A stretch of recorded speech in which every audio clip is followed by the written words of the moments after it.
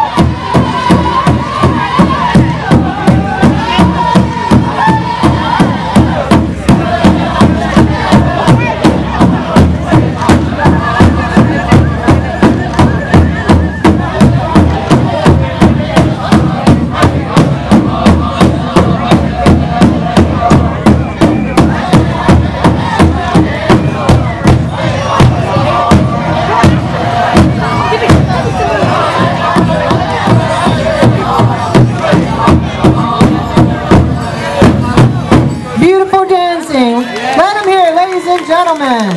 To go support your, your powwows and your, your local tribes, no matter where you are. It's very important that all of us keep our culture alive. And I thank you for your time.